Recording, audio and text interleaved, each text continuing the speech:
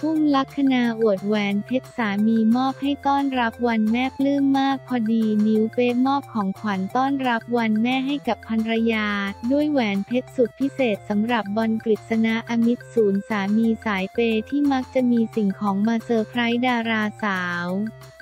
อุ้มลักขณาทุกโอกาสพิเศษไม่ว่าจะเป็นวันครบรอบแต่งงาน 4 ปีที่ผ่านมาก็เพิ่งมอบต่างหูเพชรให้ประโยกหยกล่าสุดเนื่องในโอกาสวันแม่ก็เซอร์ไพรส์แหวนเพชรล่วงหน้าไปเลย งานนี้สาวอุ้ม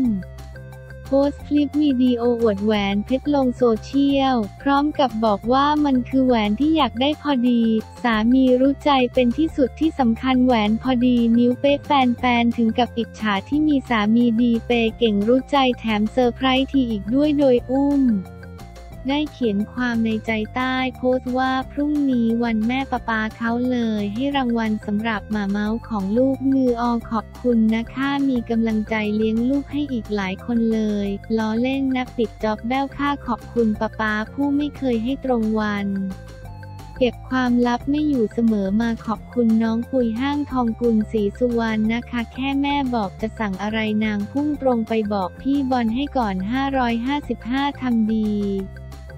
เอาอีก ทั้งนี้ยังมีแฟนๆ เข้ามาคอมเมนต์ถามเคล็ดลับวิธีเอาสามีให้อยู่หมัดหลงหัวปักหัวปั๊มว่า แม่บอกบุญทีข้าต้องทำบุญอย่างไรถึงจะได้ปังแบบแม่ ขอบคุณไอจี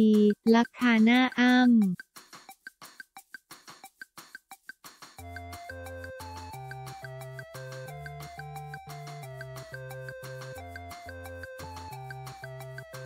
นัทนิชชาว่าที่เจ้าสาวอนันดาชี้แจงประวัติเป็นแค่หลานไม่ใช่ทายาทชุดชั้นในแบรนด์ดัง หลังจากนักแสดงหนุ่มอนันดาเอเวอริงแฮม คุกเข่าขอแฟนสาวดีไซเนอร์ นัทนิชชาธนาลงกรณ์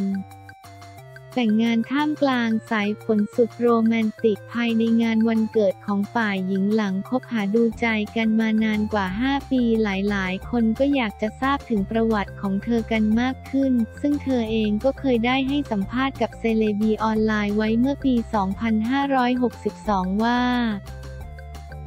นัดเป็นหลานของคุณยายจินตนาธนาลงกรณ์ผู้ก่อตั้งชุดชั้นในจินตนาซาบีนาเพราะคุณแม่นัดเป็นลูกสาวคนสุดท้อง เพราะฉะนั้นนัทมีศักดิ์เป็นหลานของคุณยาย แต่ในเชิงธุรกิจ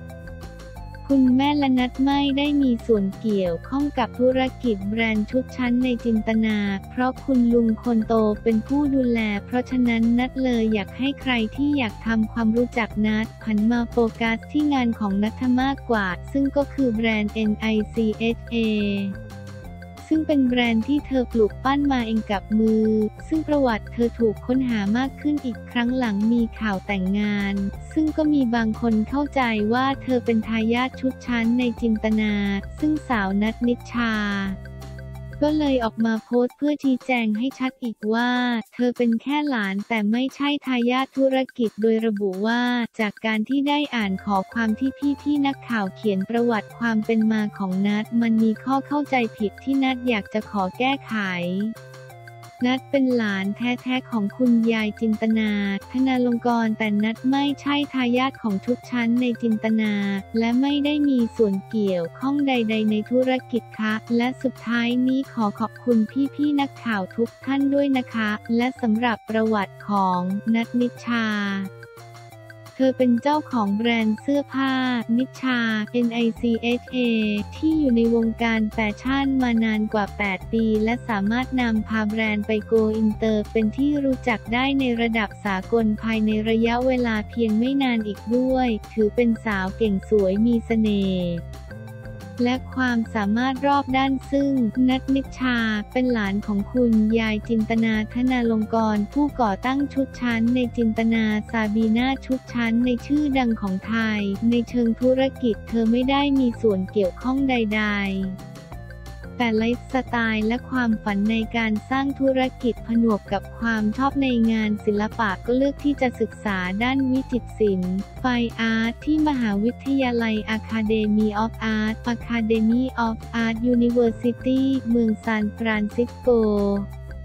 ประเทศสหรัฐอเมริกาหลังจากจบการศึกษา เธอก็ตัดสินใจบินตรงกลับเมืองไทยเพื่อสร้างสรรค์ผลงานภายใต้แบรนด์ของตัวเอง เวลาผ่านไปแบรนด์เสื้อผ้าของเธอก็ได้คร่ำวอดในวงการแฟชั่น เพราะความเก๋ของแบรนด์นิชชา NICHA ก็เป็นที่สนใจในระดับสากลเป็นอย่างมาก จนได้รับคำเชิญให้เข้าร่วมจัดแฟชั่นโชว์บนเวที เวียนนาแฟชั่นวีค VIENNA แฟชั่นวีคที่ประเทศออสเตรีย เพื่อโชว์ฝีมือการออกแบบเสื้อผ้าอันเป็นเอกลักษณ์ไทยสู่สายตาเหล่าแฟชั่นนิสต้าทั่วโลกรวมถึงช่วยขับเคลื่อนวงการอุตสาหกรรมแฟชั่นไทยให้เป็นที่ยอมรับในระดับโลกอีกด้วย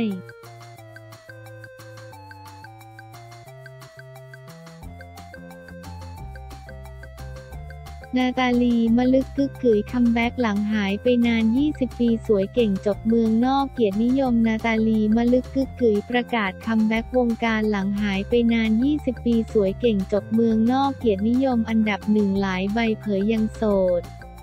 เวลาผ่านไป 20 ปีนักร้องสาวนาตาลีสติเบิร์ตเจ้าของเพลงดังในอดีตมลึกกึกกือโต เป็นสาวสวยปัจจุบันอายุ 32 แล้วแถมยังเรียนเก่งจบปริญญาตรีจากเมืองนอก ดีกรีเกียรตินิยมอันดับหนึ่ง พร้อมหวนคืนวงการบันเทิงโดยล่าสุดนาตาลีที่มาร่วมงานแถลงข่าวคอนเสิร์ต Cassette Festival 2 ณ ห้อง auditorium ชั้น 21 อาคาร GMM Grammy Place ได้เปิดใจกับสื่อมวลชนพร้อมคัมแบ็กวงการบันเทิงอีกครั้ง หลังหายไปนาน 20 ปีมลึกกึกกือในตำนานวันนี้ได้กลับมาแล้ว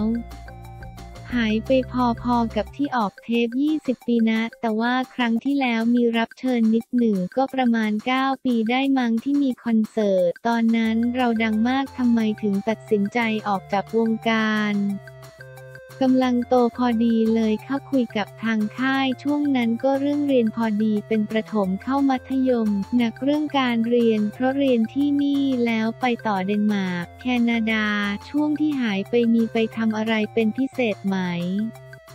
ไม่ได้มีทำอะไรพิเศษเลยแค่อยู่บ้านกับเรียนอย่างเดียวหลักๆ อยู่ที่ไทยเป็นหลักหรือต่างประเทศ ตอนนี้กลับมาอยู่ไทยเป็นหลักแล้วค่ะ จะมีช่วงหลังจากมหาลัยก็คือย้ายหลายประเทศหน่อย ไปเรียนจบคอร์สหนึ่งได้ใบมาก็ไปเรียนอีกที่จบอะไรมาบ้างจบกราฟิกดีไซน์ปริญญาตรีเกียรตินิยมอันดับหนึ่งแล้วก็ไปเรียนเชฟที่เดนมาร์กแล้วก็เรียนบริหารโรงแรมกับร้านอาหารได้เกียรตินิยมที่แคนาดา ถือว่าประสบความสำเร็จในเรื่องการเรียน ใช่ค่ะแต่ว่าทุกวันนี้ได้ใช้ไหมไม่ได้ใช้เลยค่ะ หัวเราะ เราตั้งเป้าหมายไว้ยังไงตอนเรียน เคยคุยกับพี่สาวว่าอยากเปิดร้าน แต่คือด้วยระยะเวลาหลายอย่างแล้วก็มีโควิด เราก็ดูดูไปก่อนอย่างพี่สาวก็เรียนมาเหมือนกันด้านเชฟ แล้วตอนนี้ทำอะไรอยู่บ้าง ตอนนี้ทำงานปกติค่ะทำงานประจำอยู่พอดีสามีพี่สาวมีโรงเรียนนานาชาติ ก็ไปทำไปช่วย แต่ไม่ได้เป็นครูนะคือทำเป็นฝ่ายเทคโนโลยีกับพวกข้อมูลทั้งหลายของเด็กถึงบอกว่าไม่ตรงกับที่เรียนเลย ประสบการณ์ล้วนๆเลยค่ะ งานในวงการยังกลับมาทำไหมติดต่อได้ค่ะ หัวเราะ ตอนนี้ว่างค่ะติดต่อได้พร้อมคัมแบ็กพร้อมคัมแบ็กในฐานะศิลปิน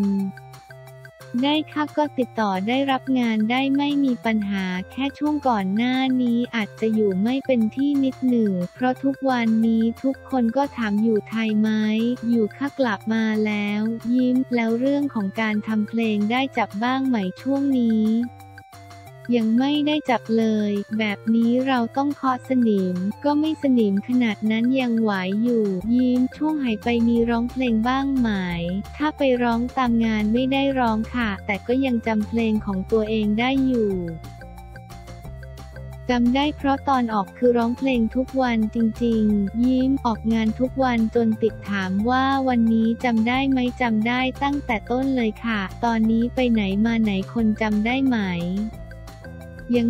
50-50 เพราะทุกคนตกใจทำไมสูงจังแต่คือถ้าลองมองหน้าก็จะเหมือนเดิม การพูดน้ำเสียงก็ยังเหมือนเดิมอยู่ ทุกคนพอเห็นความสูงก็จะแบบใช่เปล่า เวลาคนจำได้รู้สึกยังไงก็ดีใจนะคะตอนไปเรียนแคนาดาเจอน้องคนไทยเขาไปทำงาน เจอเขาก็ทักอ้าวน้องเกิดทันเหรอ หัวเราะเหมือนเรายังดูเด็ก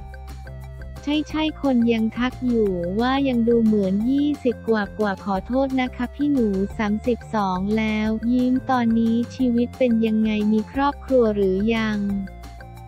ยังค่ะ มีแฟนยัง ตอนนี้อยู่คนเดียวสบายใจดี ไม่มีหนุ่มๆมาจีบ ไม่ค่ะส่วนใหญ่ช่วงนี้ก็ทำงานกลับบ้าน เป็นคนติดบ้านอยู่กับพ่อแม่น้องหมาก็จะติดอะไรแบบนี้มากกว่า คนอื่นจะออกไปแฮงเอาท์ เราจะไม่ค่อยบ่อยถ้าไปก็จะเพื่อนสนิทจริง ๆ เป็นคนติดบ้านแต่ไหนแต่ไรแล้วค่ะ อาจจะเพราะเด็กๆทำงานเยอะมั้งคะออกจากบ้านทุกวันต่างจังหวัดไปร้องเพลงในผับอะไรแบบนี้พอโตมาได้อยู่บ้านก็ติดบ้านยาวเลยด้วยความที่เราไปเรียนต่างประเทศ เรามีเพื่อนในไทยเยอะไหม